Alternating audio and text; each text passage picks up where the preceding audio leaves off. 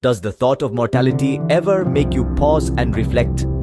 This question, as grim as it may seem, is one that has been contemplated by philosophers, scholars, and ordinary individuals alike throughout the ages. It's a topic that, while perhaps intimidating at first glance, can inspire deep contemplation, leading to profound realizations about the nature of existence. This contemplation can be a catalyst for personal growth, an invitation to redefine our perspectives and redefine how we choose to live our lives. Perhaps it's a daunting concept, but pondering over it can lead to profound insights about life itself. This is an idea that is not new, but rather has stood the test of time, persisting in human consciousness throughout centuries and across cultures. It is a concept that invites us not just to contemplate death, but to consider the meaning and value of our lives in the face of it. It is a call to ponder the impermanence of life, the fleetingness of our existence, and the finite nature of our time here on Earth.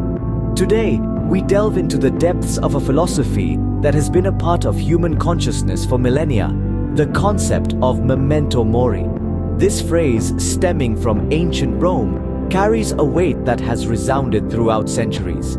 Memento mori, a Latin phrase that translates to remember that you must die.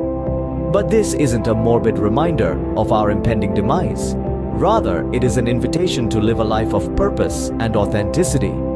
It reminds us of the fleeting nature of existence and prompts us to make the most of our time here on Earth. Originating from ancient Rome, memento mori is much more than just a phrase. It encapsulates an entire philosophy of life a perspective that urges us to live in the present moment, aware of our mortality, but not consumed by it. This reflective concept serves as a poignant reminder of life's transient nature and the inevitability of death. It encourages us not to fear death, but to acknowledge its certainty and in doing so, embrace the preciousness of life. Memento Mori can be seen as a call to live with mindfulness, it implores us to be present in our lives, to savor each moment, and to live with an awareness of our mortality. It encourages us to live our lives authentically, to stay true to ourselves, and not to get lost in the pursuit of worldly desires and material possessions. This philosophy also suggests a balance. It encourages us to live with purpose, to strive for our goals and dreams, but also to appreciate the simple pleasures of life. It reminds us that while it's important to plan for the future, we shouldn't forget to live in the present. And finally, Memento Mori challenges the human tendency to chase worldly pursuits and the illusion of permanence. It reminds us that our time on earth is limited and that our possessions, achievements, and even our bodies are transient. It encourages us not to cling to these fleeting things, but to focus on the things that truly matter our relationships, our passions, our personal growth, and the impact we leave on the world. In essence, Memento Mori is a reminder that we are all mortal, that life is fleeting, and that the time we have is precious. It implores us to live each day as if it were our last, to cherish each moment and to make the most of the time we are given. It serves as a wake-up call, a call to action, and a call to live a life of purpose, authenticity, and mindfulness. It encourages us to live with mindfulness, purpose, and authenticity, balancing out our human tendency to chase worldly pursuits and the illusion of permanence. Art has been a powerful medium in expressing this philosophy. The tradition of vanitas paintings, which flourished in the 16th and 17th centuries in Europe, is one such example.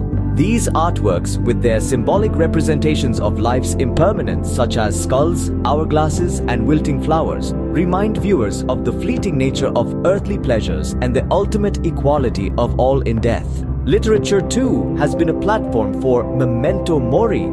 Shakespeare's Hamlet ponders mortality in his renowned soliloquy, to be or not to be, that is the question. Similarly, Herman Melville's Moby Dick presents Captain Ahab's obsessive quest for vengeance against the white whale as a manifestation of his refusal to accept mortality, a tale that warns of the dangers of denying the reality of death. Religious traditions across the world have incorporated memento mori in their teachings. Christianity, for instance, emphasizes contemplating one's mortality during the season of Lent encouraging believers to reflect on their sinfulness and the sacrifice of Jesus Christ.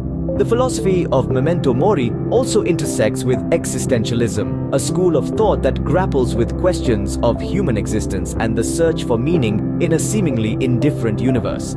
Thinkers like Soren Kierkegaard and Friedrich Nietzsche emphasized confronting the reality of death as a means of transcending the limitations of the human condition. In the contemporary world, memento mori continues to resonate. The rise in mindfulness practices and the death positive movement reflect a growing awareness of the need to embrace mortality as an integral part of the human experience.